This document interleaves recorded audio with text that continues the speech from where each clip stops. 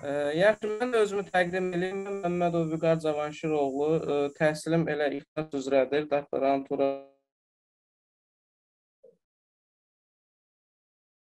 metrologiya standartlaşma sahəsində çalışıram.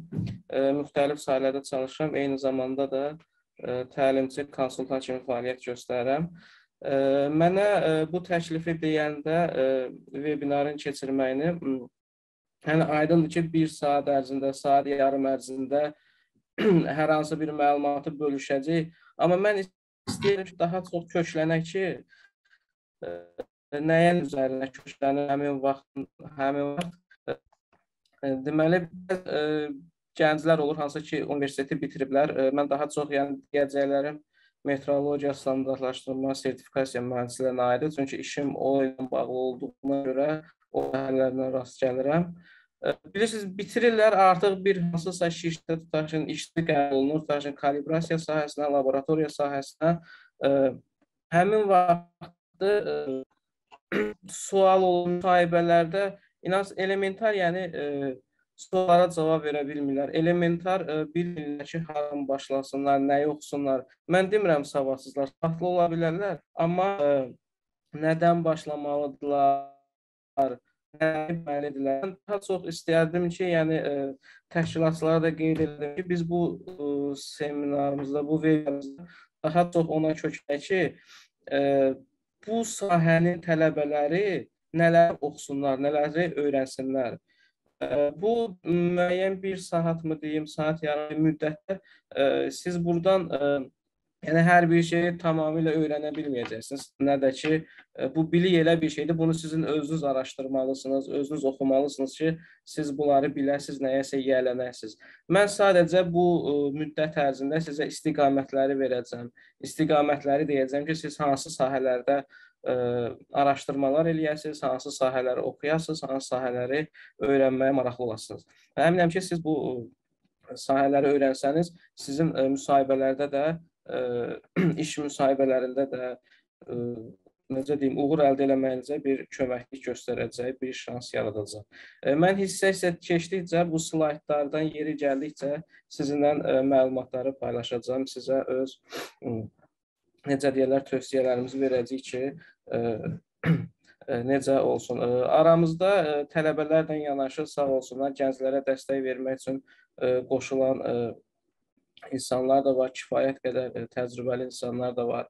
Ə, e, mən hal-hazırda hamısını görmədim. Məsələn, bayaq e, Teyyub müəllimi gördüm və digərləri də indi qoşulduqca adları mən gördükcə çəkəcəm ki, hansı ki onlar da gənclərə dəstək vermək üçün öz əllərindən gələni eləyirlər, həmişə də kömək olublar. Yaxşı. Metrologiya bildiyimiz kimi nədir? Dəqiqliyimizdir. Bizim bu günün dəqiqliyi necə deyirlər, gələcəyimizin zəmanətidir. Bu cümlə ilə başlamaq istədik.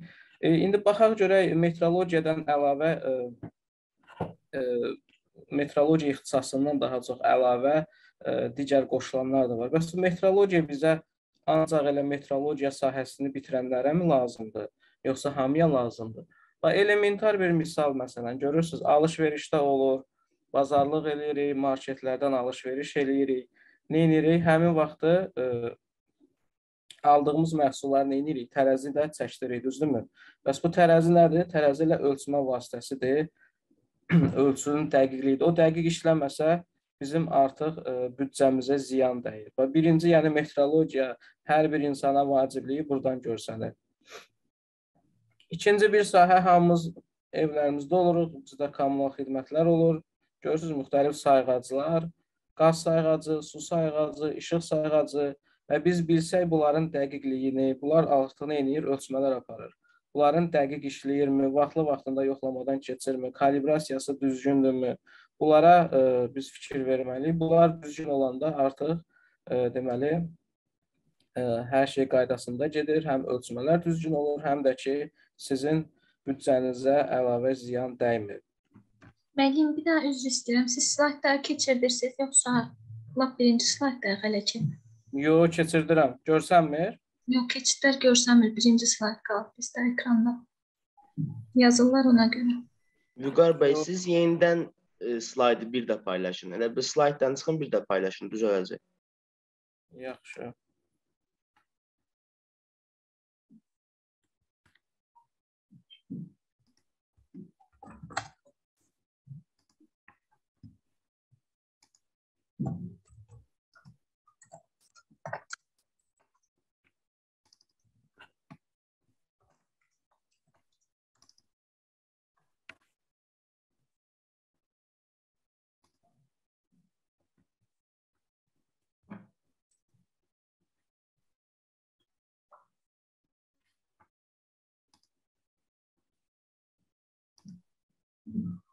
Dəyişir amma.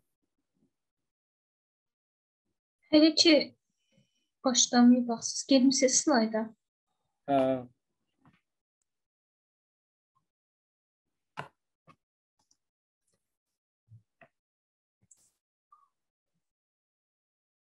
Ümumən paylaşımı dayandırıb bir daha paylaşsaz bəlkə düzələr.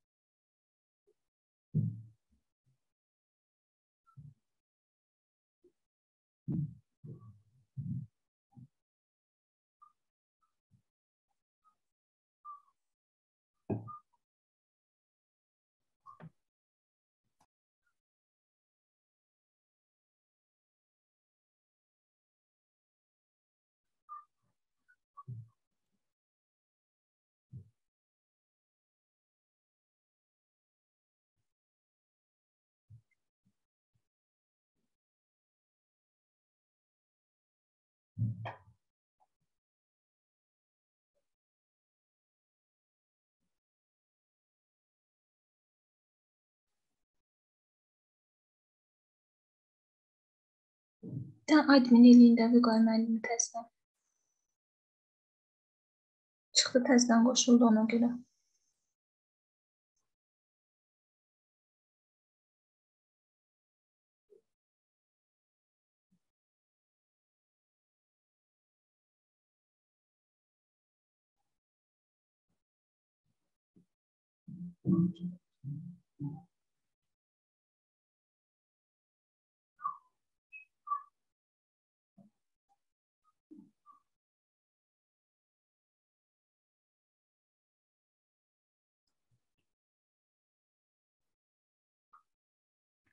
Görünür slaydlar.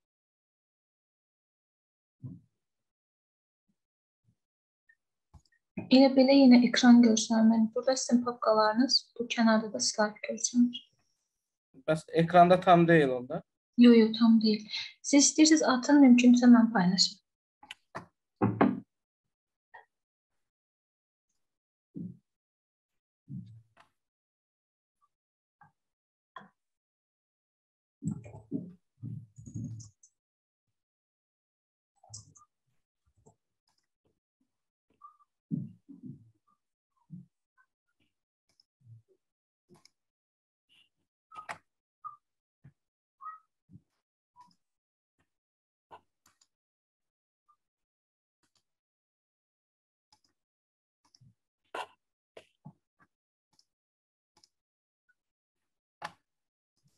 Yaxşı, akredit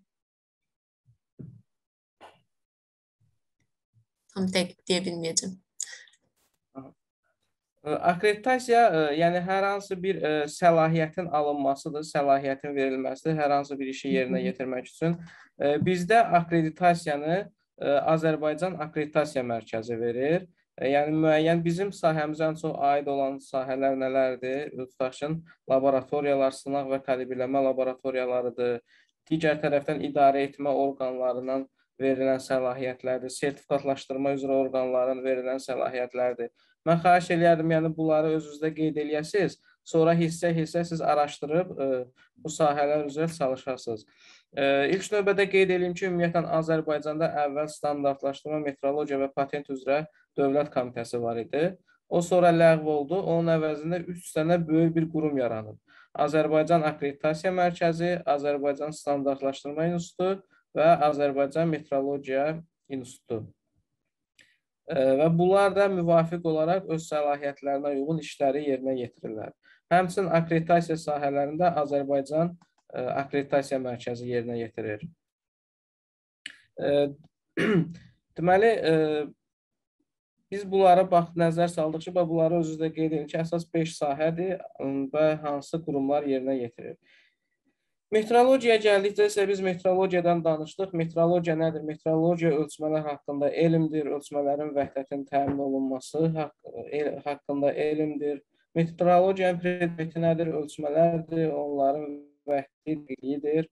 Məqsəd də ki, təbii ki, düzgün ölçmələr aparmaq, nəticələr almaq üçün ölçmə vasitələrinin düzgünlüyünü təmin etməkdir istiqamətlərə toxunmaq istəyirik. İstiqamətlər nə ola bilər? Ölçmələrin ümumi nəzəriyyəsidir. Fiziki kəmiyyətin vahidləri və onların sistemləri, ölçmələrin üsullar vasitələri, ölçmələrin dəqiqliyi təyin olunma üsulları, etalonlar və nümunəvi ölçmə vasitələri, vahidin ölçülərin etalon və nümunəvi ölçmə vasitələrindən işçi ölçmə vasitələrinə ötürülməsi və ölçmələrin vəhdəti təmin olunmasının əsasları. Ümumiyyətlə metrologiyanın 3 sahəsi var. Tətbiqi metrologiyadır, qanunverici metrologiya və nəzəri metrologiya. Bunu ola bilər indi sözdə bilirik, əzbərləmisiniz.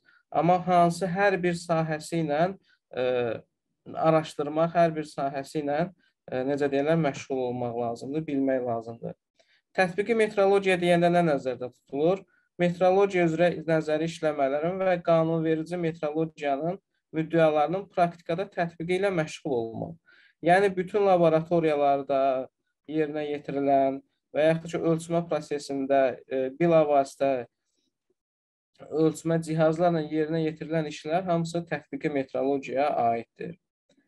Nəzəri metrologiya nə edir? Nəzəri metrologiya bu elmin fundamental əsaslarının işlənib hazırlanması ilə məşğul olur. İndi mən sizə deyəcəm, növbəti slaydlarda başqa bir slaydlar açacağam, hansı ki, beynəlxalq təşkilatlar, nəzəri metrologiya, qanunverici metrologiya ilə məşğul olan təşkilatlar var. Onlar yəni artıq necə deyim, metodikaları işləyib hazırlayırlar bizim üçün, e, deyəcəm sizə, e, müəyyən standartları tərtib eləyirlər. Bütün də hə, ümumiyyətlə sizə bir söz deyim, bütün kalibrləmə prosesləri ölçmə prosesi olsun, istəyir kalibrləmə, yoxlama, bunlar hamısı ə, e, kör təbii surətdə getmir. Hər birinin ə, e, deməli metodikası, hər birinin standartı, qanuna uyğunluğu var. Yəni istənilən ə, e, ölçmə vasitəsinin hə yoxlayırıq. Necə yoxlayırıq?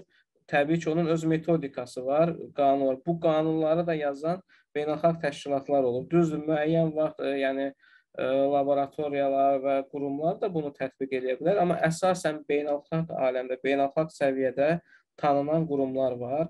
Onların ə, ə, onların yəni işlədiyi, hazırladığı metodikalardır. Elə bu yerdə istəyirsiniz mən bir o slaydı açım. Ümumiyyətlə beynəlxalq ə, təşkilatlarla tanış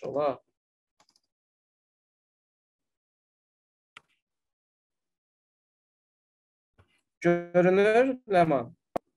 Keçmisiniz mənim slaydı. Bizdə o, nəzər metodologiya yazılan görünür təkcə. 13-cü. O e-maili görürsüz? O e-mail yazılıb indi.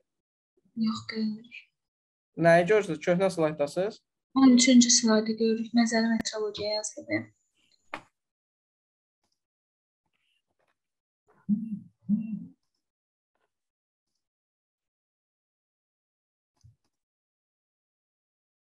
Dəyişdi?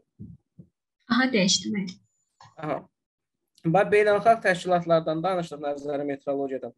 Bunları istəsəz qeyd eləyərsiniz özünüzə. Yəni bəzi beynəlxalq təşkilatlar var. Bunlar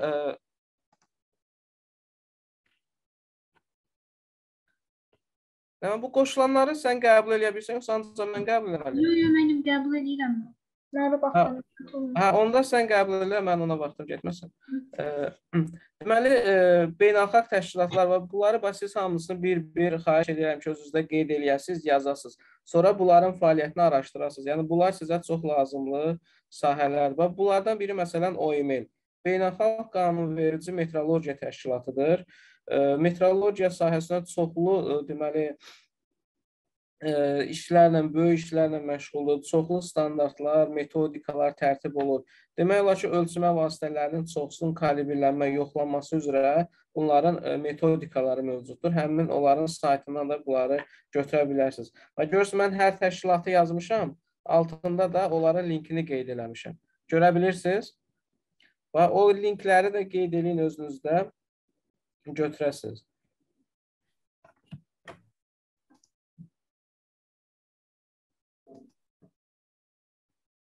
Keçdi ikinci slayda. Bəli, mənim keçdi. Və BIPM növbəti e, beynəlxalq təşkilatların biri BIPM-dir. İndi BIPM e, beynəlxalq ölçülər və çəkilər üzrə bürodur. E, deməli baş e, konfrans beynəlxalq komitənin çəkilər və ölçülər işlərinin yerinə yetirilməsi barədə hesabatları alır. Beynəlxalq vahidlər sisteminin təbliği və inkişafını tələb edən böyük bir qurumdur. Yəni bizim hansı ki deyirik vahidlər sistemi. Yəni həmin vahidlər sistemini e, necə deyim qoruyub saxlayan, onun inkişafını davam elətdirən, yəni bütün məsələlərə bu qurum baxır. BIPM. Bunun da linkini götürün özünüzə qeyd eləyin. Sonra PTB. Almaniyanın Milli Metrologiya İnstitutu. Yəni bunlar da bütün qeyd etdiyim ölçmə vasitələrinin istər kalibrasiyasına, yoxlamasına aid və metodikaları var. Bütün standartları öz saytlarına demək olar metodikaların çoxsunu orada qeyd olunub. Bir də bir sözü qeyd edeyim. Məsələn, bəzən həmişə bilirik ki, həmişə deyirlər bizə ingilis dili lazımdır, ingilis dilini öyrənin. Bəzən tələbələr belə deyək də tənbəlliyinənmi və ya da ki, müəyyən adamlar deyir ki, yo ingilis dil bizim öz dilimiz var. Biz öz dilimizlə işləyirik, öz dilimiz nə bilim, almanlar bizim dili öyrənirmi? Belə deyə də biraz da pafos şəkildə. Bilirsiniz, bütün elmin dili beynəl istər texnikanın, elmin dili ingilis dilidir hal-hazırda. Və görürsüz, mən bu adını sadaladığım bütün metodikalar olsun, bütün standartlar olsun, Hamısı ə, e, Azərbaycan dilində yoxdur. Hamısı ingilis dilində var. Onların öz saytlarında var. Siz bu dilə yiyələnməklə artıq görün nə qədər yeni metodika, yeni ə, e, standartları biləcəksiniz. Öz işinizə tətbiq el tətbiq eləyəcəksiniz və birbaşa ə, e, yəni bunları başa düşüb bunların ə, sayəsində sizə nə qədər faydalı olacaq. Ona görə də yəni tələbələrə deyəndə ki, yəni ingilis dili lazımdır, ingilis dili bilməlisiniz. Tək bu elə iş tapmaq üçün də lazım təbii ki. Amma görün bax nə qədər bizə sizə lazım olan sahələr, sizə lazım olan ə, materiallar hamısı ingilis dilindədir. Və ona görə də bunlara diqqət eləməyinizi tövsiyə edirəm. Və bu PTP-nin də saytını götürün. Bu da çox faydalı bir e, institutdur, faydalı bir təşkilatdır. Bizə də lazım olur. Sonra bizim qardaş ə, e, ölkə Türkiyənin TÜBİTAK Ulusal Meteorologiya İnstitutu.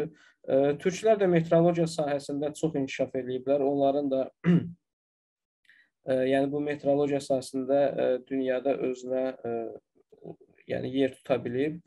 Və bu saytdan da görürsüz, burada da çox maraqlı bir məlumatlar var bu saytda da. Orada hətta bir meteorologiya kitabı da var ki, çox faydalı bir kitabdır.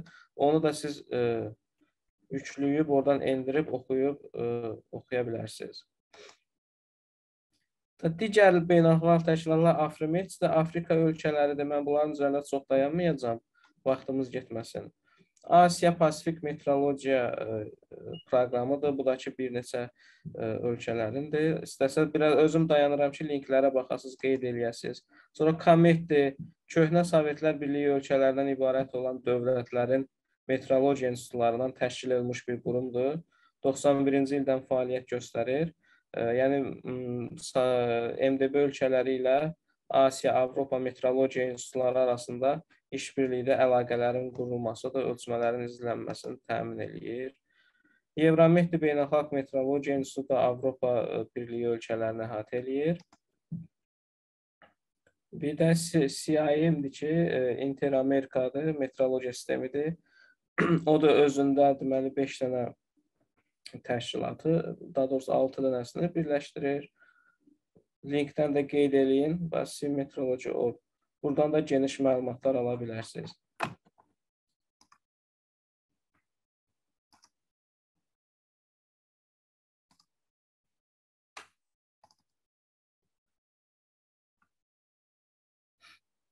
Amma görünür təzə slayd.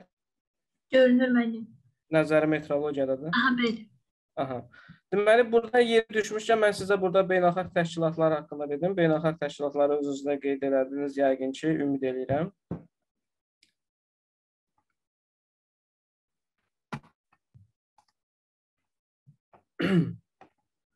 Digər qanunverici metrologiyadır. Qanunverici metrologiyada dövlət tərəfindən müəyyənləşdirilmiş qaydalarla ölçü vasitələrinin eyniliyi və ölçmələrin vəhdətini təmin etməklə məşğul olur.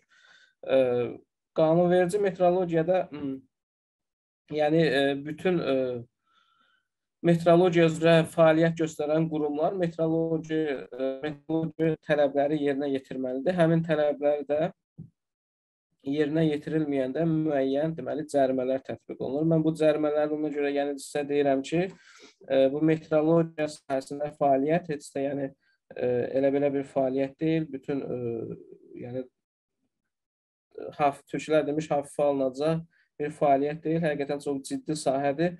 Ona görə qanunla görürsüz metroloji qayda qanunlara əməl olunmayanda hətta görürsüz yüksək məbləğlərdə dövlət tərəfindən cərimələr var. Yaxşı, bu ə, cərimələrdən biz danışdıq ki, cərimələr var. Ə, qaydalara düzgün əməl etmək lazım. Bəs hansı qaydalara əməl etmək lazımdır? Bu qaydalar necə tənzimlənir? Nə ilə tənzimlənir? Metrologiya sahəsində qanun hansı qanundur, bilirikmi? Kiminsə məlumatı var? Ölçmələrin vəhdətinin təmin edilməsi haqqında Azərbaycan Respublikasının qanunu. Ay, sağ olun. Yemid onu mən görənmədim. Kim idi bu sualı deyən? Nailədir müəllim. Mənəm müəllim 63-30-dan Nailə. Ha, Nailə. Ə, düzdür, bəli. İstəyən digər bu iştirakçılar da bir aktiv olsunlar, qoşulanlar, xüsusən bu metrologiya danışma sahəsində qoşulanlar. Yəni ancaq qulaq qarşılıqlı ə, diskussiya ilə daha maraqlı olar. Biz düzdür onlaynı tərifləyirik, deyirik, amma onlaynda hamı qoşub kamerasını da söndürüb, nauşnik atıb, məlum deyil, qulaq asılır, asılır. Canlı olanda istər-istəməz cəlb olunur, onlara daha çox faydası olurdu. Bəli, düz vurğuladınız. Ölçmələrin vəhdətinin təmin edilməsi haqqında Azərbaycan Respublikasının qanunudur. Yəni bütün ə, Azərbaycanda baş verən ə, bu sahədə baş verən ə, e, deməli proseslər, baş verən ə, fəaliyyət növləri bu qanunla ə, e, tənzimlənir. Və bu bunu e, yaxşı olar ki, bu sahədə işləyən adamların stolüstü kitabı olsun. Bunu ə, internetdə var, yüklənmək olur. Bütün ə, metrologiya aid tələblər burada öz əksini tapıb. Və göz ölçmələrdir, ölçmə vahidlərindən tut, hər birinin burada tərifi var necə həyata keçirilməlidir, nə cür həyata keçirilməlidir. Və bunlar hamısı burada öz əksini tapıb. Qanun məqsədindən, tətbiq dairəsindən tut, qanunvericiliyi, ölçmələrin vətən təmin edilməsinin dövlət vəzifələri hansılardır? Müəllim, siz qanunu açmısınız orada deyəsən, amma biz də görmürük yenə. Görmürsüz yenə? 4 dənə sizin ekranınızı görürük, paplanızı görürüksə. Aa, yox, yenə açmışam. Mən də burada vərəqləyib sizə danışıram göydən onu.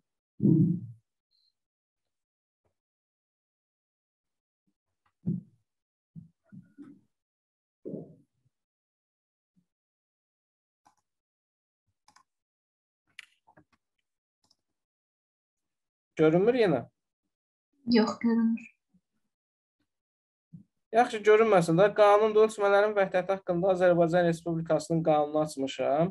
E, yəni bunu istəyirdim sizə göstərim. Kəm yəni kimə maraqlı olsa axırda mənim meylimi yazar, mən onlara göndərərəm, baxarlar. Yəni kəmiyyət vahidlərinə aid tələblərdir, dövlət kəmiyyət vahidlərinin etalonlarına dair tələblərdir.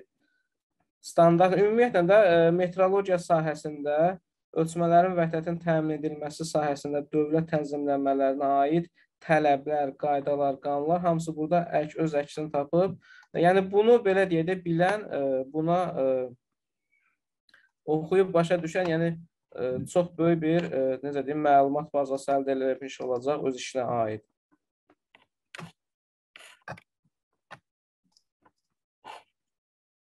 Biz qayda xüsuslarımızı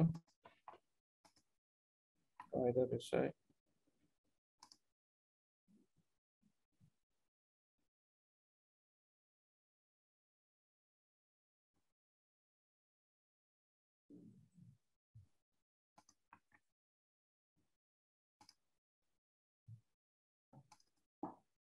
Slayd göstərir indi? Hə, göstərir. Aha.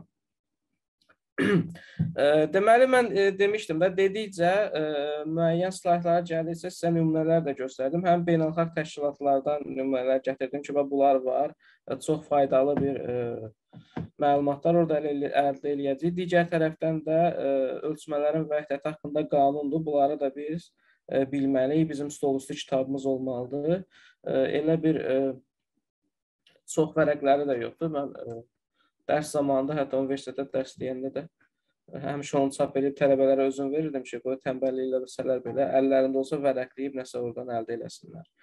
Yaxşı, biz e, ölçmə vasitələrimizi e, bölsək, laboratoriyalara bölsək, cihazları bölsək, aşağıdakı kimi bir mənzərə olar. Düzdür, bundan daha fərqləri də olar, amma ən çox da belə deyək, bu yönündə bölünür e, ölçmə vasitələrinin e, laboratoriyalarım deyək, kalibrləmə mərkəzlərim, adətən kütlə ölçmə vasitələri götürülür, təzyiq, həcm, sərf ölçmə vasitələri götürülür, mexaniki və həndəsə ölçmə vasitələri, fiziki, kimyəvi qaz qarışıqları, defoskopiya, radiotexnika və akustik ölçmə vasitələri, temperatur ölçmə vasitələri, bir də elektrik ölçmə vasitələri. Bax indi e, bunu xahiş edirəm, siz özünüzdə bir dənə qeyd eləyin. Və siz ə, cihaz öyrənərkən, kalibrasiya öyrənərkən istər, ə, hansı cihazları yoxlamağını ə, asılı olaraq bu sahələri ə, özünüzdə qeyd eləyib, bunları bir-bir, bir-bir hamısının üstündən keçsəz, sizin üçün faydalı olacaq. Yəni bütün ə, belə deyək də kalibrləmə laboratoriyaları olsun. Ümumiyyətlə mən başa düşürəm, daşın ölkədə metrologiya standartlaşma və sertifikasiya sahəsi üzrə müxtəlif təşkilatlar var, müxtəlif qurumlar var. E, yerli qurum olsun, özəl qurum olsun. Amma mənim bu dediklərimdə, yəni metrologiya sahəsinin işçisinin yerinə yetirəcəyi işlər düzdür, fərqli olacaq cihazlar. Amma ümumi bunların hamısı gəlib bu qanuna bağlanacaq. Mənim dediyim bu standartla tənzimlənəcək. E, bu ölçmə vasitələri orada olacaq. Yəni başqa bir şeylər olmayacaq. Bunlar olacaq, sadəcə fərqli formada olacaq fərqli formada necə, yəni başqa cihazlar olacaq, ə, idarə etmə sistemləri fərqlidirsə, yazışmaları, sənədləşməsi fərqli olacaq. Amma bütün hər yerdə, yəni cihaz varsa o kalibrlənməlidir. Cihaz varsa hansı təsnifatlaşdırılmalıdır, hansıdır? Cihaz varsa, ə, laboratoriya varsa, yenə də orada ə, beynəlxalq standartlar tətbiq olunacaq. İndi 17025-də ondan da danışacağam, növbəti ə, slaydlarda deyəcəm.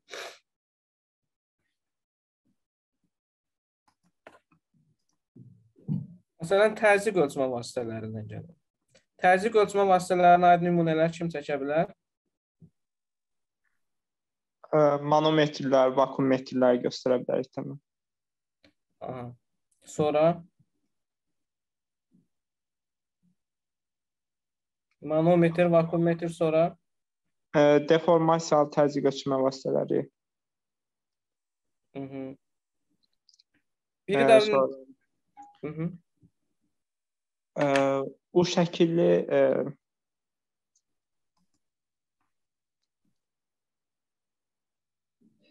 Deyin, deyin. bu şəkilli ə, təzyiq ölçmə vasitəsi daha sonra izafi təzyiq ölçmək üçün istifadə olunan Atmosfer təzyiqi nə ilə ölçərsən? Barometr. barometr. Mən nəsə adı görə bilmirəm. Bu suala cavab verən kim idi? Barometr mənə də Murad dedi. Murad. Digərləri deyən kim idi? Həsən Əsgərlər Əsgərli. təmin. Üzr istəyirəm, eşitmədim. Həsən Əsgərlər Əsgərli. Aha, Həsən Əkbərli. Əsgərli. -hı. Başqa, başqa bir nümunə kimi müəllim elektrokontakt manometrlərdən danışa bilərik. Bəli, bax şəkildə yazılanları da deyin. O görürsüz burada nədir? Özü yazan manometr var. Bəli, digər düz vuruladınız. İndi bax yaxşı olar ki, bax bunları dediniz, düzdürmü? Çox gözəl, adlarını saydınız. Bunlar necə kalibrasiya olur bəs? Bunlar hansılar? Bunların şəkillərini qoyasınız. və təzyiq çeviricilərini demədiniz. Yəni sizin dediklərinizin hamısı bilavasitə ölçmə vasitələri idi. Yəni ekranda görürdük. Bir də Yoldaşlardan biri çata yazmışdı müəllim təzyiq transmitterlərini. Necə? Yoldaşlardan biri çata yazmışdı təzyiq transmitterlərini. Ha. ha kimsə yazıb, bəli. Hə, mən çata baxmırdım, sual ə, vermişəm deyənə. Ə, slaydlar görünmür deyən ona görə ekranı çox görsənəndə tərpətmirəm ki, yenə itməsin, problem yaratmasın. Hə. Hə, deyə bilər lap yaxşı. Bax təzyiq. Ə, yaxşı olardı ki, məsələn, bax sonra burada görürsüz, özü yazan ə, chart recorderlər deyirlər, özü yazır, qeydə alan manometrlər də var ki, hansı ki manometrin təzyiq ölçmə vasitəsidir. Budur. Yaxşı olar ki, bax siz özünüzdə bunları qeyd elədiniz. Sonra bunları nə ilə kalibrovka eləyirlər? Bunları necə kalibrovka eləyirlər? Bunların ə, hansı metodika ilə kalibrovka eləyirlər? Və bunları siz özünüzdə inan öyrənsəniz, inanın ki, yəni ə, sizdə o ə, getdiyiniz vakansiyalarda müsahibələrdə problem olmaz. Ə. Məsələn, mən 2 dənə şirkət üçün laboratoriya qurduq. Onların ə, kadrlarını seçməkdə ən az yüzlərlə CV gəlir. Onların hərəsindən 100 CV-nin içindən 10 dənəsini seçirsiniz. 10 dənə gələn adama bu sualları versən heç birini bilmir. Cihazın özünü tanımır, qalmışı kalibrovkasını tanısın. Amma sonra şikayət vaxtı hamı ə, danışır ki, mənim diplomum var. Yəni magistr tələbələrindən bəzən xətanı soruşursa nədir deyə bilmirlər. Və yəni ə, düzdür, demirəm bunların hamısını bilsəz 100% qarantilidir, amma ən azı, yəni işlə təmin olunma ehtimalınızı daha çox artırırsınız. Və ona görə bunları xahiş edirəm diqqətli olun. Nümunəvi ölçmə vasitələri vasitəsilə ə, müqayisəli şəkildə tutuşdurulub yoxlanıb kalibrasiya edilir də müəllim. Bəli, düzgün deyirsən. Ə, hansılardır? Yaxşı olar ki, məsələn, bax bunları öz-özünə qeyd elədin nümunəvi. Bunlara aid artıq sizdə fikir var. İndi ə, müasir dövrdəyik. İnternetdə şuralar, deməli hər bir şey var. Metodikası var. YouTube-da kanal, ə, YouTube-da videoları var. Məsələn, manometrlərdə, aha, bax dediniz, bəli, tutaqın burada bax hard kommunikator da var birinci. Bu təzyiq çeviricisini kalibrovka eləyir. Yəni təzyiq çeviricisinin ekranı olmur da, bilirsiniz. Onu qoşurlar hard kommunikatorla oxuyurlar. Yəni bunlar necə yoxlanır, necə kalibrovka olur? Bütün bax bunları tələbələrimiz bilsə, bunları araşdırsa, öyrənsə, yəni o 4 illərini boşa verməsə, mən inanıram ki, onlar istər getdiyi yerlərdə özlərini seçiləcəklər. İndi bu hal-hazırda təzə zavodlar da açılıb, bir neçə sokarın zavodları olsun, özəl qurumlar var, laboratoriyalar əvvəl bu sayda deyilindi. Maşallah gün-günə labo kalibrovka laboratoriyaları açılır. Amma inanırsınız işsiz işsizlikdən əziyyət çəkirlər. Aydındır ki, tələbə ə, təcrübəsi olmayacaq, işləməyəcək. Amma bu elementar məsələləri o bilməlidir ki, işverən də desin ki, əba bu bilsin, bilir də bu cihazı tanıyır. Hardan başlayıb, harda qutaracağını bilir. Onu heç olmasa götürüb öyrətmək olsun. Amma bir də var, heç cihazı bilmir. Kalibrovkası nədir? Bu müəyyən problemlər yaradır. Və digər tərəfdən sonra temperatur ölçmə məsələlərinə aid. Və burada e, dediyiniz şeylər bir əvvəlcə bir nümunə deyin heç olmasa eşidim. Termo ən yüksək temperatur ölçmək üçün termometrlərdən istifadə olunur da yüksək dərəcə. Mənlə danışan kim Həsəndir? Aha, bəli mən. Siz harda işləyirsiniz? İşləyirsiniz siz? Xeyr mən. Aha. Tələbəyəm. Necə? Tələbəyəm mənim 4-cü kurs tələbəsi. Ay, sağ ol. Bax yaxşı sən öz üzərində işləyən tələbə olmusan, çünki sualların hamısına cavab verirsən. Ay, sağ ol. Termocütdən sonra hansı temperatur ölçmə vasitələrini tanıyırsan? Gündəlik istifadə etdiyimiz termometrlər misal üçün. Aha, lap yaxşı. Bir də ki şey, ə, ə, Şəkildə əks olan birinci nədir? Məsafədən ölçür. ə, məsafədən ölçən lazerli termometrlər adlandırılır desən onlar. Bəli, pirometrlər deyilir. Hə, Və ikinci və üçüncüdə bax bu birincinin ölçəndi, ikincisi onun kalibratorudur. Görsən o qara nöqtədə kalibrovkası onun baş verir. Ölçürsən oradan da müqayisə ilə kalibrovkasının həqiqi qiyməti tapılır. Bu ikinci, üçüncü slaydlarda da artıq bunlar temperatur kalibratorudur. Bunlar yerləşdirilir, e, termobaniya deyilir ora. Orada e, temperatur verilir və nümunəvi cütlə bu cüt arasında olan e, ölçmələr qeyd olunur. Yəni bu yolla bunlar yoxlanması, kalibrovkası prosesi baş verir. Burada gəldik artıq biz nə kütlə ölçmə vasitələrindən, e, yəni burada çəki daşları, tərəzilər, müxtəlif cür bunlar e, tərəziləri nə tərəzilər nə ilə kalibrovka olur? Çəki daşları ilə. xüsusi etalon çəki daşları gəlir, hansı dəqiqlikdə onlar xüsusi qutularda saxlanılır, onlara ə, əllə toxunmaq olmaz, xüsusi əlcəklərlə götürülür. Ə, analitik tərəzilər var ki, hansı ki, dəqiq ə, kiçik milliqramları ölçür, həmin daşlarla yoxlanılır. Yaxşı, və bu slaydda görürsünüz yük maşının arxasındakı. Bu nəyə lazımdır? Vaqon və maşın tərəzilərinin yoxlanması üçün xüsusi kütləli çəki daşlardır. Hı, ay sağ olun. Nalə sənsən cavab verən yoxsa? Bəli, müəllim. Hı. Yaxşı, bu qoşulanları istəyirəm danışdırım, nəsə danışdıra bilmirəm. Bir dənə Həsəndir deyəsən aktiv, bir də Murad. Sınav ölçmələri ilə bağlı universitetdə xüsusi hər hansı bir dərs keçirilmir də, yəni onların bunu bilmə ehtimalı da çox azdır. Ona görə mən cavab vermək istədim. Niyə bəs Həsən, niyə Həsən də tələbədir? Həsən niyə bilir bəs? Yox, müəllim, o digər təzyiq, temperatur bunlar keçilir, ona sözüm yoxdur. Amma kütləyə çox bir yer ayrılmır onlar qədər. Digər elektrik ölçmə vasitələrini e, buradan dedik düzdür. Bunlar e, tərəzilər yük avtomobilləri, vaqon tərəzilərini e, yoxlamaq üçündür. E, yük maşınları məsələn bir e, yük tərə avtomobil tərəziləri harda yerləşə bilər? E, tutaq ki, e, müəyyən e, fərzilə sement satılan zavodların girişində. Orada sementlər satılır, maşınlara qoyulur tonlarla qoyulur və girişdə, çıxışda nəzarət olunur. Nə bilim, pambıq zavodları olsun, digər yəni ümumiyyətlə yəni tonla satılan bir yerlərdə ikinci nəzarət eləmək üçün adın avtomobil tərəziləri quraşdırılır və bu xüsusi yüklərlə də həmin tərəzilərin yoxlanması, kalibrovkası üçün istifadə olunur. Digər elektrik ölçmə vasitələri. Elektrik ölçmə vasitələrindən nəyi tanıyırsınız? Nailədən başqa. Voltmeter, ampermeter. Həsən sənsən yenə? Yo Murat, Murat. Aha, Murad sənsən. Aha, Ayson sonra Sonra Re- hansıları?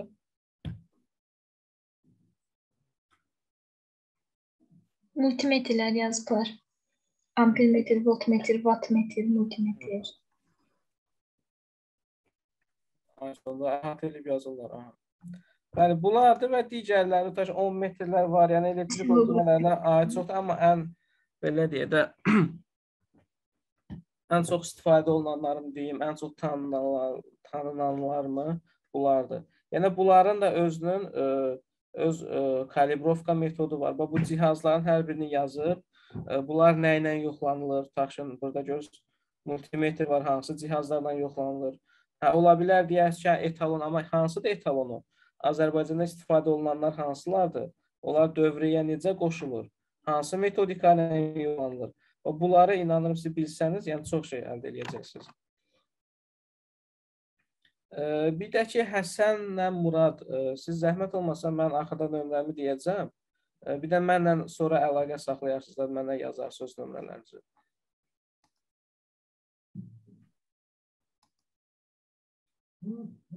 Və həndəsi mexaniki ölçmə vasitələrindən gələk. Və birinci slayddakı ümumiyyətlə mexaniki, həndəsi mexaniki ölçmə vasitələri yəni nümunə çəkə bilənlər var.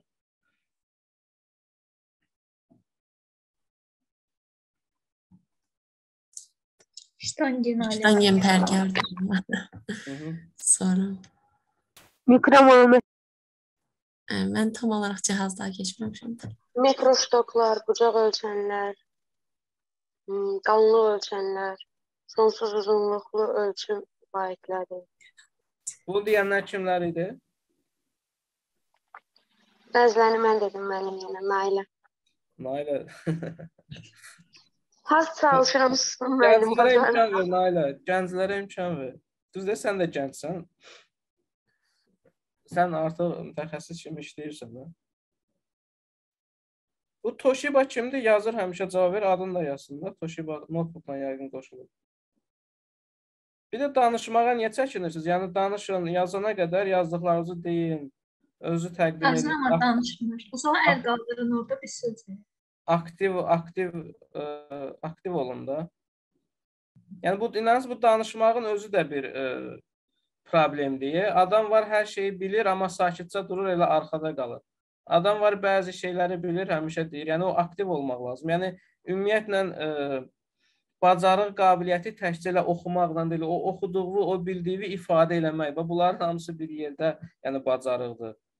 Ola bilər, hə, sən çox şey bilirsən, amma sakit durursan, heç nə danışmırsan.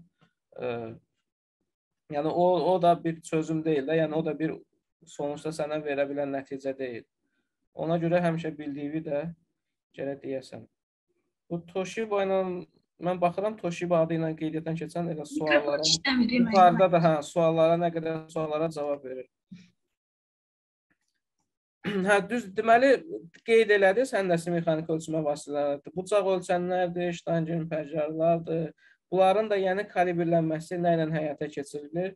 E, çox vaxt ştanger pərcarları məsələn e, sonluqlu, uzunluqlu nümunə ölçənlər deyirlər. Bunlara adətən PKMD-lər deyilir. Yəni standart daşlar olur, standart ə, uzunluğunda olan metal hissəciklərdir. Ə, onlar ə, istehsal olur zavod şəraitində. Artıq ə, nüm standart gəlir.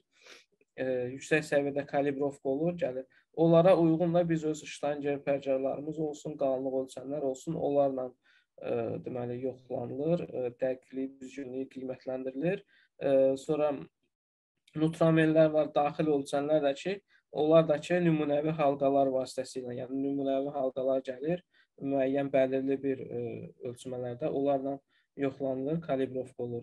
Bu aşağıda görsənir, bu sağda indi mışqanın üzərində hərəkət etdirəm, görünür? Görünür mən. Bax bu nədir? Bir də bunun bu sol tərəfindəki nədir? E, bunlar da dinamometrik açarlardır. Sol tərəfdəki də dinamometrik açarın kalibratorudur. Dinamometrik açar nədir? E, biz bildiyimiz kimi biz e, boltları, xüsusi şeyləri sıxar, boltları sıxarkən e, elə nə gəldi sıxılmır. Hansı ki bahalı avadanlıqlar olur.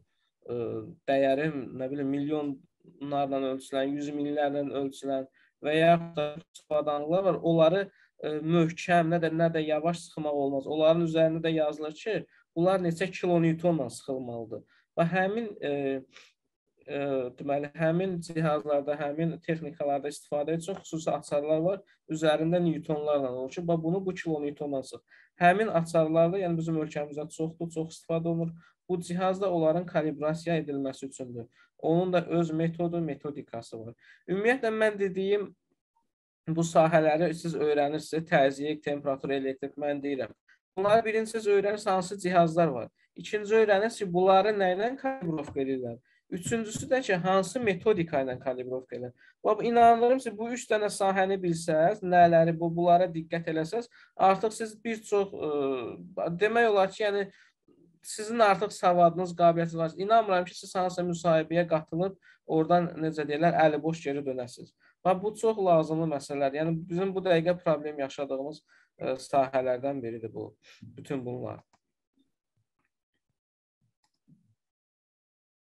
Digər tərəfdən biz ölçmələrdən danışdıq, cihazlardan danışdıq və mən dediyim qədərlə ölçmələrə təsir edən amillər nələrdir? Bax, birinci metod seçimi.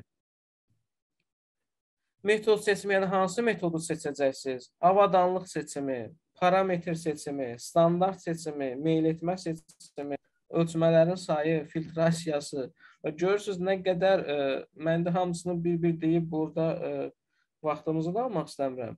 Avadanlıq hansı avadanlıqlardan seçilməsi, mühit, mühitin özün kalibrovka ölçmə ə, e, prosesində böyük təsiri var. Temperatur, nəmli, vibrasiya, havanın təzyiqi, toz, sirk, maqnit sahəsi, elektrik sahəsi, cazibə qüvvəsi, radiasiya. Fikir verirsiniz, yəni ölçməni apardığınız yerin ölçmələrə təsiri necə böyük bir ə, ə, e, gücə malikdir, necə böyük bir təsir etmə imkanına malikdir. Bəzən görürsən elektrik ə, e, ölçmələri aparılacaq, ə, amma bir divarın o tərəfində transformator quraşdırılıb. Artıq orada hansı düzgün elektrik ə, e, ölçmələrindən söhbət gedə bilər ki, onun divarın arxası böyük bir elektromaqnit sahəsi yaranır və təbii ki, o da cihaza təsir edəcək. Ona görə də ölçmələrin düzgün ölçmələr aparmaq üçün biz böyük bir ə, e, diqqətə, böyük bir ə, e, həssasiyyət, titizliyə malik işimizi qurmalıyıq ki, ə, bunlar düz getsin. Və bunlara da bizə tənzimləyən standartlar var. O standartların elə tələblərinə əməl eləsək, o standartların prosedurlarımızın biz ardıcıllığı ilə getsək, ə, onlara da ə, onlara da əməl eləmiş olacağıq. Yəni standart demişkən mən istəyirəm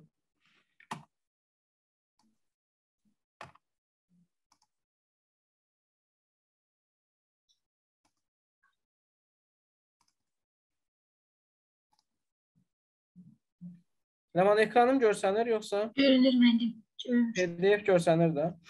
İndi PDF açdınız, yoxunda o görünmədi. Podqanız 17 görünür. 17 mi 25 açmışam. Yox, görünür.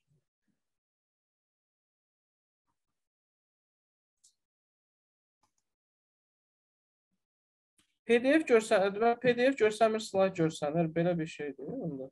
Görünmür hə yenə. Aha, görünür.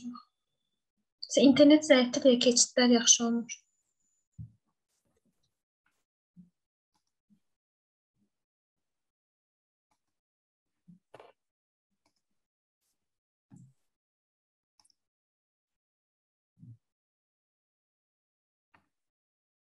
Bu vacibdir, istəyirəm bunu göstərim.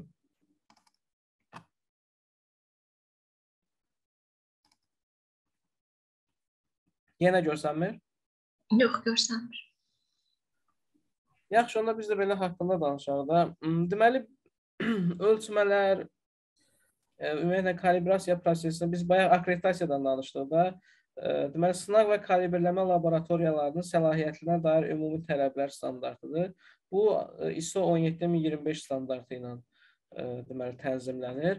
Yəni ölçmələrdən, kalibrasiya laboratoriyalarından düzgün, yəni tanınan ə, biz proses aparmaq istəyiriksə, ISO 17025 standartına biz uyğun olaraq akkreditasiya olmalıyıq. Ə, yəni bu indi mən vərəqləyirəm, istəyirdim sizə göstərim bütün bəndlərini, maddələrini. Ə, deməli, ə, 8 bəndlik bir standartdır. Ə, Azərbaycan Respublikası bu yeni var, yeni variantı çıxdı artıq 2020-ci ildən.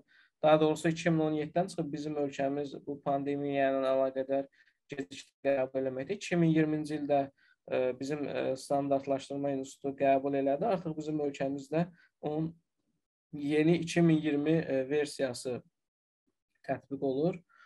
Bunu xahiş edirəm bu standartın da eşitməyənlər özündə qeyd eləsin. ISO 17025-2020 standartı. Və bu çox lazımlı bir standartdır, hansı ki, ölçmə və kalibrləmə laboratoriyaları, sınaq laboratoriyalarına tətbiq olunur. Yəni bütün laboratoriyalar öz işini buna uyğun qurur. Mən bayaq sizə deyirdim, ya, ölçmələrdə dəqiqlik olsun, ətraf mühit olsun. Yəni bu standarta siz əməl eləsəz, öz işinizi bununla qursanız, bu bütün əhatə eləyir ə, həmin prosesləri. Kalibrləmə, sınaq proseslərinin hamısını bu standartın prosedurları, ə, formaları bunu əhatə eləyir. Bunun tələbləridir ki, hamısına əməl olsun. Yəni ə, laboratoriyanın qərəzsizliyindən tut, ölçmələrin məxfiliyindən tut, struktur laboratoriyanın strukturuna, laboratoriyanın personalına tut, yəni personal necə olmalıdır? Ə, orada məsələn personalı elə hə gəldi, işə götürdüm, yox hansı müddətdə sən o personala bu kalibrasiya prosesinə həvalə eləyəcəksən, onun nə qədər prosedurları var ki, neçə müddət o ə, belə deyək də təcrübəçi kimi durmalı. Ə, stajyer nə deyilir bizdə? Stajyerə biz nə deyirik? Hə? Praktikant deyilmədiniz. Praktikant, yəni stajyer kimi durmalı, dayanmalı. Nə vaxt ona həvalə eləmək olar ki, artıq o ölçmə işlərini yerinə yetirsin. Sonra resurslara tələblər var. Sənin hansı resursların var? Sən cihazlarından hansı cihazların var? Onların izlənməsini necə aparırsan? Avadanlığın necədir? Sən onlara necə qulluq eləyirsən? İzlənməni necə aparırsan? sonra necə qoşulursan tenderlərə, necə qoşulursan, sertifikatı necə yazırsan, sertifikatı necə hazırlayırsan, metodları necə ə, yoxlayırsan ki, bu metodlar düzgündür, onların verifikasiyasını, validasiyasını həyata keçirirsən. Ən əsası isə ə, köklənilib, yəni ə, risklərə, ə, məsələn, hansı risklər səni ə, yeni standartda risklərə çox köklənib, hansı risklərin ola bilər, hansı ə, sənin kalibrasiya vaxtı nəzərə alacağın, almayacağın, risklərin ola bilər, fəaliyyətlər nədir? Yəni ümumiyyətlə bütün hər şeyi əhatə eləyir 17025 standartı. O standartla artıq ə, bu kalibrasiya prosesini hamısını yerinə yetirmək olur. Yəni bütün ə, tənzimləyir o artıq özündə. Və onu da xahiş edirəm qeyd eləyin siz özünüzdə. Slayda qayıtdın amma? Bəli, müəllim, slayd görünür. Aha. Deməli, ölçmələr də izlənə bilərlik, keyfiyyətin idarə edilməsi e, başlığı altında ölçmələrin hansı e, xüsusiyyətləri kəsb eləməlidir? Bayaq görürsüz, bayaq danışırdım. 17-25-in demək olar ki, bəndlərində obyektiv olmalıdır, aydın olmalıdır, etibarlı olmalıdır, dəqiq olmalıdır, müqayisə edilə bilən olmalıdır. Ən əsas beynəlxalq vahidlər sistemi ilə izlənə bilər olmalıdır. İzlənə bilərlik bəs nə deməkdir? Yaxşı. İzlənə bilərlik Nailədən başqa kim izah edə bilər? İzlənə bilərlik. Traceability deyilir mənim ingilis dilində. Yəni ki, cavab verməmişdən qabaq həm adını desin, sonra sualı desin. Özünü təqdim et. demədim danışam. Aha, ha, buyur Həsən. Ə, traceability deyilir. Əsasən ə, bizim ə, onun ə, beynəlxalq international və national standartlara uyğunluğu haqqında əsas götürülür. Yəni onun uyğun olması izlənə bilərlik kimi qəbul verilir. Başa düşdüm. Sən necə başa düşürsən bu izlənə bilərliyi, yəni öz aləmində? Necə yəni dərk edirsən? Ə, yəni ki, ə, elə olmalıdır ki, yəni misal üçün biz hə, həmin şeyə baxdıqda onun ə, beynəlxalq standartlara uyğunluğun ə, uyğun o, uyğun olduğunu başa düşə bilərik, yəni görə bilərik. O tərzi başa düşürəm mən. Aha. Bax, ekranı görürsən indi. Mhm, bəli. Bax görürsüz ölçmələrdir, ölçmələrdir. Göz aşağıdan yuxarıya doğru qalxır. Bu ölçmələr e, məsələn bizim yerlərdə e, olsun. Məsələn hər hansı bir müəssisənin daxilində bir cihaz olsun. Görürsüz o öz ölçmələrini aparır. O öz ölçmələrini aparır, öz cihazını nə edir? Yoxlatdırır, e, hardasa yoxlatdırır. Hansısa bir laboratoriyada və yaxud da ki onun e, öz bağlı olduğu bir e, qurumda tutaq ki, öz müəssisə daxilində yoxlatdırır. Həmin müəssisə bunu e, biraz daha yüksək dəqiqliyə malik olan bir qurumda yoxlatdırır. Həmin qurum biraz daha yüksək qrupda və nəhayət gəlir çıxır beynəlxalq bayaq mən BIPM deyirdim. e, Beynəlxalq e, çəkilər vahidlər üzrə e, komissiya. Bax sonuçda gəlir bağlanır ora. Bizim e, ölkəmiz üçün desək, tutaq ki, bir zavodda istifadə olunan ölçmə vasitəsidir. Bu orada istifadə olunur. O izlənə bilər, gəlir hansısa tutaq ki, bir laboratoriyada. Fərzilə bir X bir laboratoriyada yoxlanılır, kalibrovka olur. Düzdürmü? Laboratoriyanın səlahiyyəti var onu yoxlamağa. Artıq laboratoriya nə edəcək? Öz ölçüsünü ötürəcək ona. Onun öz öz cihazı ilə yoxlayır axı, öz ölçüsünü dəqiqliyi. Həmin laboratoriya özünə harda yoxlanır? Bizim etalonlarımız saxlanılır Azərbaycan e, Metrologiya İnstitutunda. Və o laboratoriyada öz cihazını daşın Metrologiya İnstitutunda e, dövlətimizin etalonu ilə yoxlatdırır. Və artıq dövlətimizin belə deyək, öz, o vahidlər sistemi də, ö, dəqiqlik keçir həmin laboratoriyalara. Bizim dövlətimizin də ə, etalonlarımız da təbii ki, yəni ə, yığılır bir dövlətlər arası bir ə, belə deyə də birbaşa BIPM-ə çıxmır. Məsələn, yığılır təxmin kommet kimi təşkilatlar, regional qurumlar olur. Orada müqayisədən keçir, müqayisə olunur. Bizim ölkə etalonları da həmin ölkə etalonların yığışdığı bu regional qurumlardan da artıq BIPM-in ə, ora çıxır. Yəni oradakı ə, belə deyək də, oradakı ə, etalonlarla müqayisə olur. Və beləliklə görürsüz piramida şəklində başlanılır ə, BIP-nə vahidlər sistemi paylana paylana paylana paylana gəlir. Yəni bu zəncir qırılmamalı. Bu zəncir qırılsa artıq ə, bizim ölçmələrimizin dəqiqliyi, bizim ölçmələrimizin düzgünlüyü ortada itir. Məsələn, siz yoxlamadan keçməmiş bir cihaz istifadə edirsiniz. Onu bizim ölkəmizdə keçirmir və yaxud da ki, o laboratoriya öz cihazlarını keçirmir və beləliklə bu e, şey itir, zəncir qırılır. Və burada adi misal görürsünüz, manometrdə manometr ə, biraz daha dəqiq cihazla yoxlanılır. Bu dövlət etalonla yoxlanılır. Bu da ki, beynəlxalq sistemlə, beynəlxalq ə, səviyyədə yoxlanılır. Və bu tipdə ə, aşağıdan yuxarıya doğru getdikcə artır, gedir, gedir, gedir. 17025 standartı da bayaq e, bunun haqqında sizə çalışdım göstərməyə, göstərə bilmədim, amma haqqında danışdım. E, hansı ki sizə vacib olan e, məsələlərdən biri idi. Yəni bu akkreditasiya attestatıdır, hansı laboratoriyalara verilir. E, 17-25 standartının tələblərinə əməl eləyir, yoxlamadan keçir, auditdən keçir və ə, həmin o akkreditasiya attestatını alır. Müəllim, bu akkreditasiya attestatı mən fikir verdim, 3 illik verilib, hə? Bəli, 3 illik verilir. Ümumiyyətlə Sonradan yenidən sonradan yenidən müqayisə eləyir olunur. Hı, başa. Artıq ə,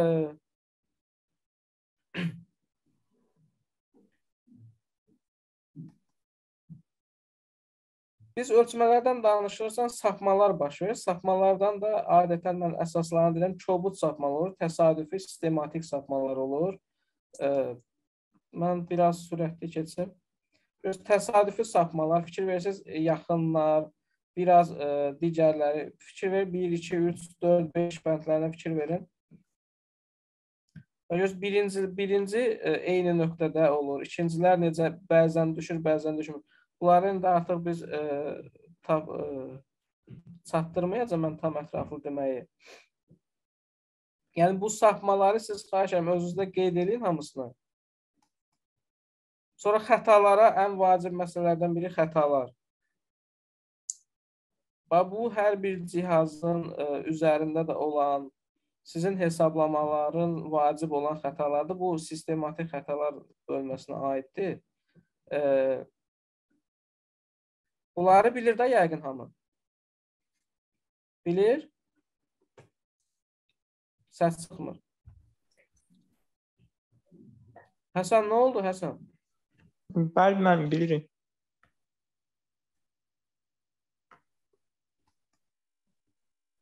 Yaxşı, kalibrasiya nədir?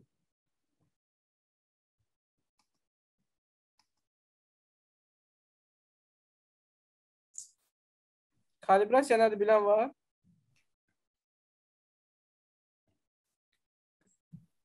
Suallar çətinləşdi deyəsən.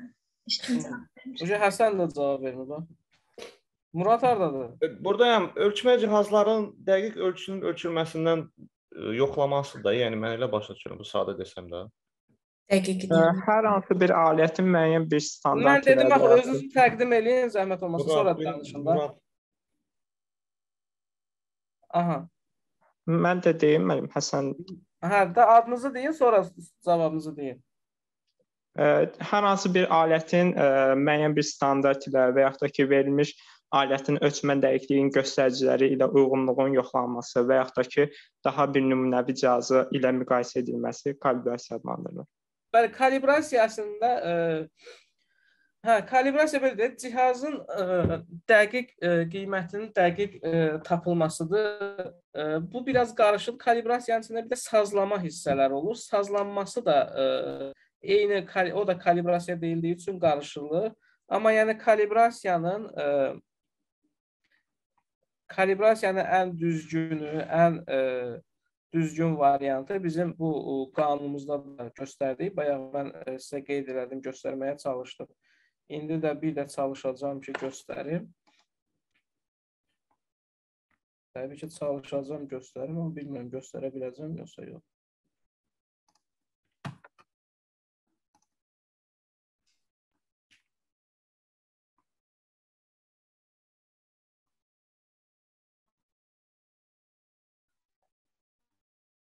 Görürsüz? PDF açırsınız yenə müəllim. Hə, görmürsüz, hə? Təəssüf ki. Aha.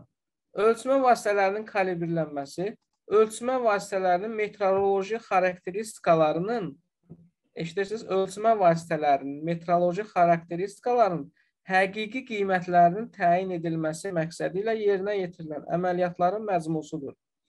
Yəni kalibrlənmənin məqsədi ölçmə vasitələrinin ə, gö- həqiqi qiymətin tapılmasıdır. Həqiqi qiymətin tapılması da nədir? Bayaq dediniz, nümunəvi cihazlarla, etalon cihazlarla onun dəfələrlə yoxlanılıb, dəfələrlə müqayisə edilib, öz həqiqi qiymətin tapılması prosesi adlanır kalibrasiya. Nəman ekranda nə görsənir indi? İndi prosta sizin sizin də slayd paylaşırsınız deyəsən. Yox, hələ də papkada. Haqqılar. Aha, slayd gəldi. Kalibrləmənin faydaları. Gəlmədi, yox. Bayaq gələr kimi oldu, amma gəlmədi. Gəlməyib hələ. Yox, mən. Bir də məncə təzədən paylaş.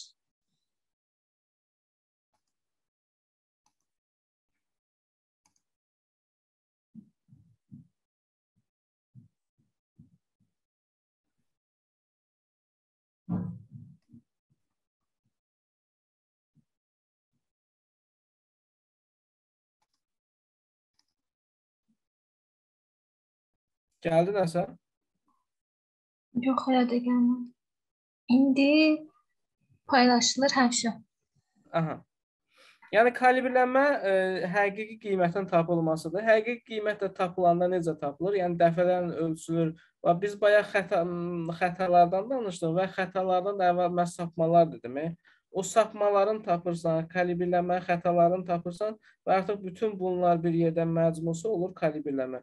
Ümumiyyətlə kalibrlənmə niyə lazımdır? Nə vaxt kalibrlənmə aparır? Kalibrlənmənin faydası nədir?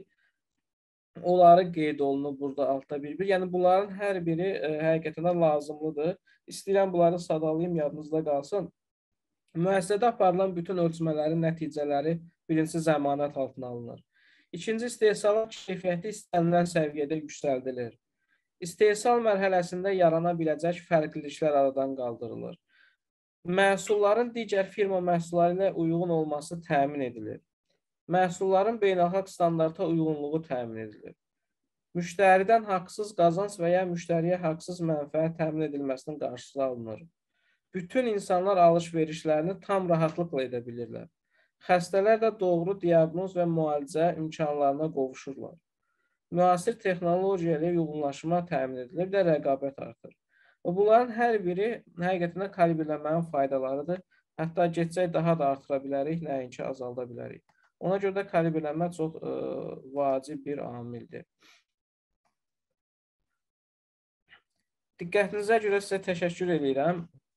Ümid eləyirəm ki, nəsə ə, çatdıra bildim sizə, nəsə deyə bildim sizə. Burada mənim ə, telefon nömrəm və e-mail ünvanım qeyd olunub. Ə, yəni ə, hər hansı bir ə, sualı olan və yaxud da ki, mən dedim qanun olan ə, nə ə, sual olan yaza bilər. Ə, belə özüm istəmirəm göndərim. O adamlara göndərmək istəyirəm ki, onlar maillə yazır. Nəyə görə istəyirəm?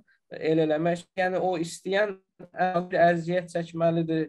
Ən azı mail götürməlidir. Bir mail məktublaşma dəniyyəti öyrənməlidir. Belə deyək, məktublaşma necə yazılır, mail necə açılır, düzgün mail ünvanı yazsın ki, ona da uyğun nəsə ə, qarşılığında bir ə, belə deyək də əziyyət çəksin ki, bir nəsə əldə eləmək üçün onun da bəhrəsini görsün.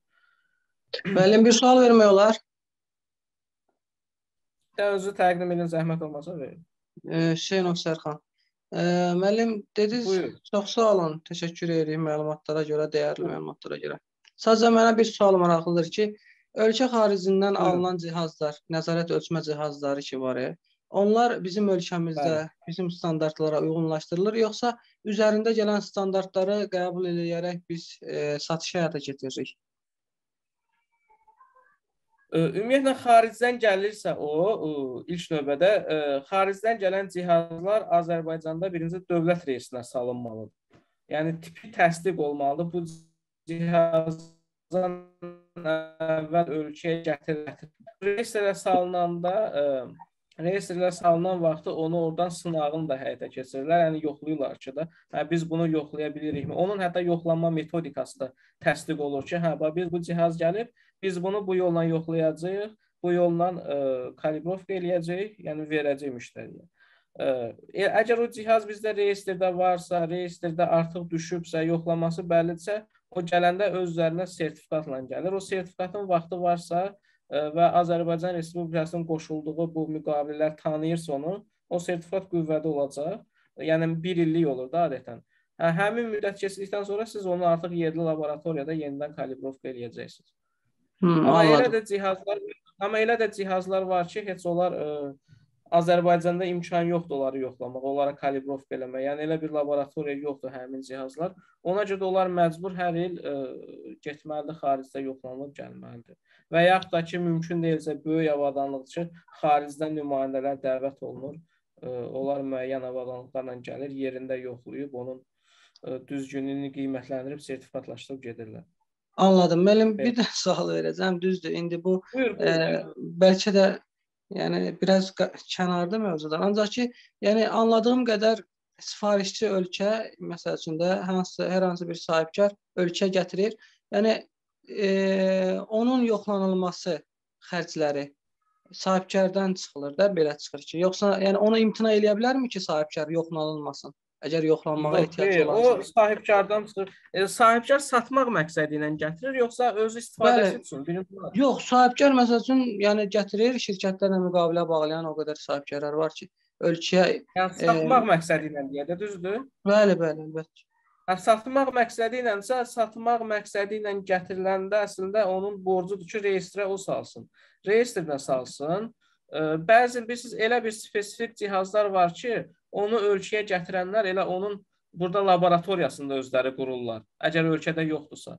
Yəni o sahibkar gətirir öz cihazını, artıq o ə, reyestrə salır, amma satan vaxtı ondan alanlar tələb eləyir ki, mənə daşın sertifikat ver, kalibrovka vaxtı müddəti olan sertifikat ver. Amma onu da deyim ki, adətən xaricdən alınan cihazların əksəriyyəti ən azı üzərində 1 illik ə, müddəti olan kalibrovka sertifikatı ilə gəlirlər. Artıq o problemlər 1 il keçdikdən sonra başlayır. Hı, Anladım müəllim. Çox sağ olun dəyərli məlumatlara görə. Təşəkkür edirəm. Çox sağ olun. Buyurun, başqa sual olan var? Ə, Allahvertiyeva Nərmin, Vüqar müəllim, belə bir sual vermək istəyirəm. Ə, Buyurun. Mənə mənə çox maraqlıdır ki, yəni bu sahənin ölkəmizdə inkişafı rolu, gənclərin bu sahəyə marağı, məsələn, gənc kadrların tədqiqatları sizi nə dərəcədə qane edir? Yoxsa elə çox görüləcək çox işlər var qarşıda? Bu barədə məlumat verərdinizsə zəhmət olmasa. Sağ olun suala görə. Ə, yaxşı sualdır. Gənclər bilirsiniz, ə, burada yanaşma müxtəlifdir. Ə, öz üzərində işləyən gənclər də var. Amma əksəriyyət deyim ki, müqayisə ə, heç kim haqqına girməyək. Əksəriyyət amma ə, qənaətbəxş deyil. Çox az hissəsi ə, qane eləyir. Ə, əgər bunun da əksini görürlərsə, məsələn, hamı götürsün elementar yəqin ki, burada çoxsu tələbələr və magistrlərdir. Elə öz qrup yox, öz də elə burada iştirak eləyənlər və öz qrup yoldaşlarını götürsün, iştirak eləməyənlər. Məsələn, burada neçə nəfər ə, iştirak eləyən var idi? Ə, Mən görmədim, amma neçə nəfər iştirak edirdi? Hal-hazırda 28 nəfər. 28 nəfər, onun hardasa bir 3-4 nəfəri təşkilatçılardır, düzdürmü? Mən mən qarışıq. Amma məsələn elan getdi, qeydiyyatdan keçmişdi 70-ə yaxın adam, ə, dəfnə qədər layiq olub fəaliyyətlər olub, amma qoşulub maraq oldu. Tə- təzə başlayanda 40-a yaxın nəfər var idi burada. Ha, yəni İndi ola bilər indi yaxşı lap 40 deyək. Deyək ki, bəzilərində internet problemi oldu, bəzilərində digər problem oldu.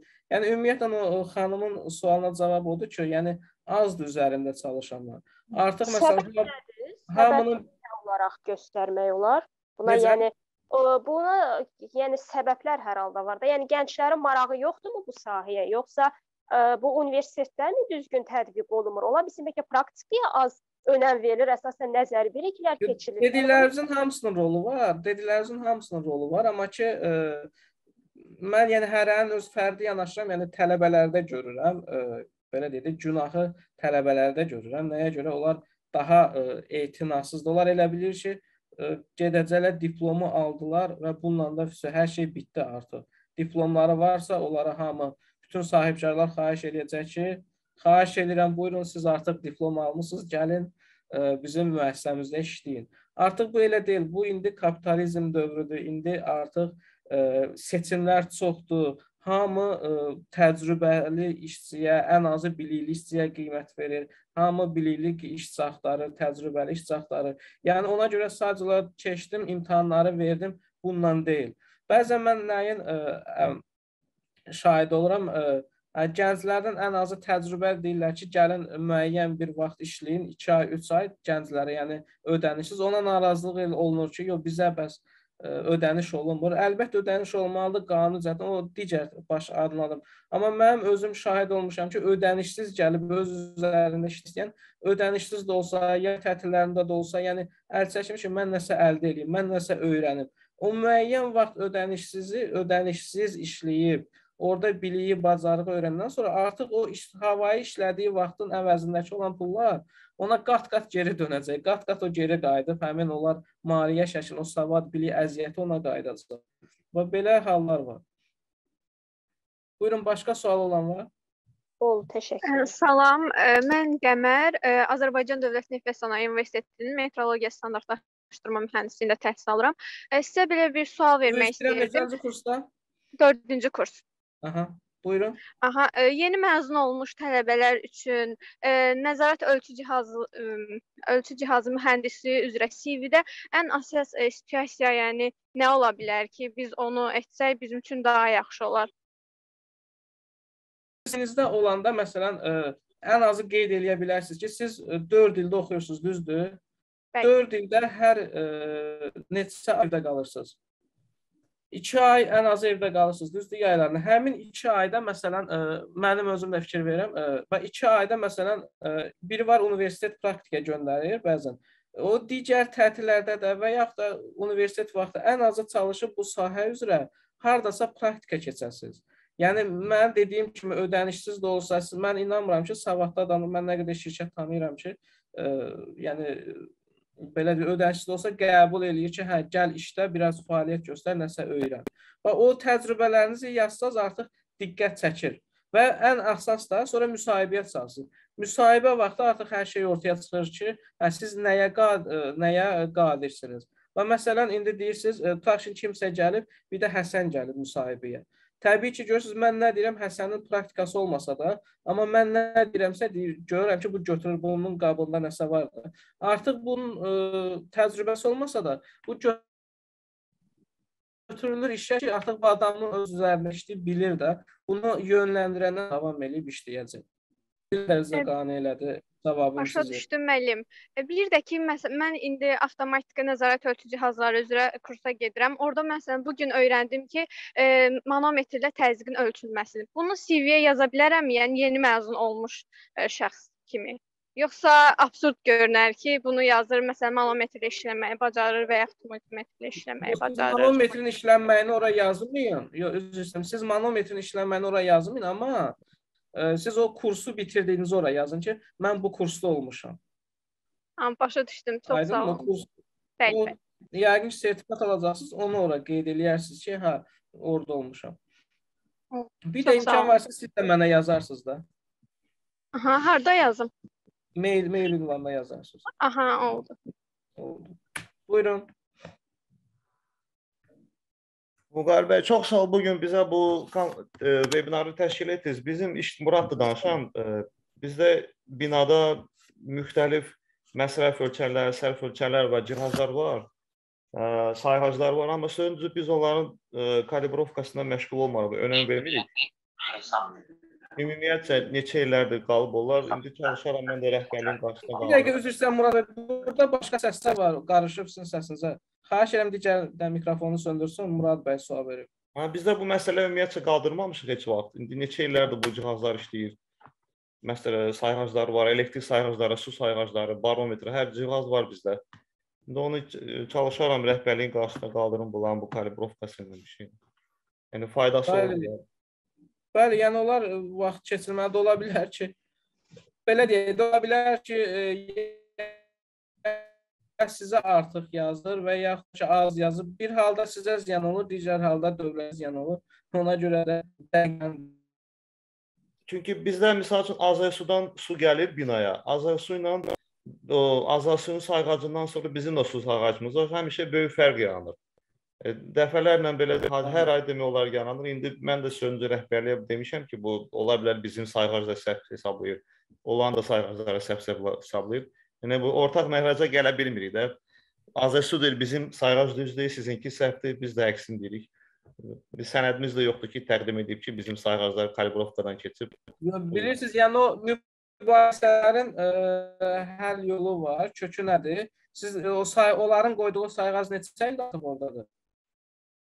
Üzr istəyirəm başa Nə vaxt onlar Ha. Deyirəm onların qoyduğu sayğac nə vaxt axırıncı dəfə yoxlamadan keçib? O yoxlamadan keçib, neçə illərdir qalıb da, heç onlar da o işə baxmırlar belə. Hə görürsüz, yəni artıq ə, o əgər 3 ili keçibsə, son xarici pasportun tələb eləyin onlardan 3 ili keçibsə, artıq qüvvədən düşübsə, yoxlama müddətini keçibsə, o iddia eləyə bilməz ki, onun sayğacı işləyir. İndi həmçinin siz indi yoxlamadığına görə siz də iddia eləyə bilmərsiniz. Ona görə də hər iki sayğac getməli kalibrasiya olmalıdır. Bilmirəm sizin hansı təşkilatda işləyirsiniz? Sizdə metroloq, mühəndis desəniz, yəni sizin iştirakınızla yoxlamadan keçirsin düzgünlüyü təmin etmək üçün. Və nəticələr orada artıq ortaya çıxsın ki, bəli hansı düz işləyir, hansı səhv işləyir. Yəni kalibrasiyadan keçməmiş cihazla belə mübahisə eləmək ə, olmaz ki, yəni fərqli. Yəni o məhkəmə predmeti də ola bilər, yəni məhkəməni də qazana bilərsiniz. Yəni ə, sizə ə, yoxlamadan keçməmiş ə, bir ə, ölçmə vasitəsindən ə, təsərrüfat hesablı, ə, əmtə hesablı ə, obyektlərdə nəsə satılır, nəsə alınır. Yəni bu qanuna da ziddir. Başa düşdüm. Yaxşı, çox sağ ol. Buyurun, buyurun. Müəllim Süleyman Əhmədov ə, adlı iştirakçı çata yazıb ki, kalibrasiya metodikalarını necə əldə etmək olar?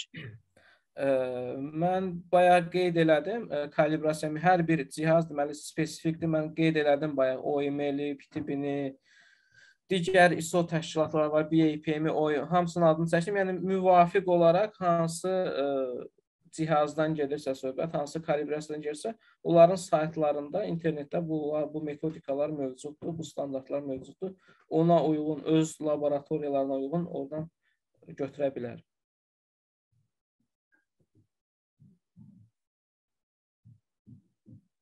Aydın oldu. Sağ başqa? Mən sual vermək olar. Buyurun, özünüzü təqdim edin verin. Məhərrəm Valiaman Azərbaycan Dövlət Neft Sənaye Universitetinin ə, metrologiya mühəndisliyi üzrə 4-cü kurs tələbəsi. Aha, buyurun. Ə, bizi praktikaya metrologiya institutuna göndərəcəklər. Yəni biz ora getsək, o, orada praktikada bu mövzu barəsində nə qədər bilik əldə edə bilərik metrologiya institutunda? Siz istəsəniz oradan çox ə, praktika əldə edə bilərsiniz. Yəni praktikanı səhərdən axşama qədər orada dayanın. Çalışın ki, işçilər də vadar eləyəsiniz ki, sizə kömək olsunlar, sizə yardım eləsinlər. Orada müxtəlif bizim etalonlarımızın saxladığı laboratoriyalar var, müxtəlif kalibrləmə laboratoriyaları var. Yəni orada reallıqla desək mən xoşlamıram çox standart cümlələri danışım. Yəni ki, onların da vaxtı olmasa sizə desələr ki, hə yox, vaxtımız yoxdur, vaxtımız azdır. Yox, səhərdən axşama da orada dayansaz ki, onlara desəz ki, xahiş edirik biz bura öyrənməyə gəlmişik və oradan ayrılmasa siz oradan çox bir şey əldə edəcəksiniz. Ən azı nə qədər cihazlar görəcəksiniz, necə kalibrovka olur görəcəksiniz. Onlara deyin ki, rezervasiyada da iştirak eləyəsiniz. Yəni onun sizə çox xeyri olacaq. Əgər orada dayansanız. Çox sağ olun. Bəli. Buyurun, buyurun. Sonra sual olan var? Yoxdur, müəllim belə görürəm ki. Oldu. Qatılımcılara onda mən də sonlaşdırmı? Təşkilatçılara, qatılımcılara mən təşəkkür edirəm. Qoşulanlara uğurlar arzulayıram. İnşallah faydalı ola bildik. Hər zaman nəsə kimsə sual soruşar, nəsə yol göstərməyə, kömək eləməyə həmişə hazırıq. Vüqar bəy, mən də təşəkkür edirəm. Çox faydalı bir webinar idi. Minnətdaram sizə. Çox sağ olun. Çox sağ olun. Çox sağ olun vaxt ayırdığınız üçün bizə. Çox sağ olun müəllim burada vaxtınızı ayırdığınız üçün. Sağ olun müəllim. Sağ olun, sağ olun.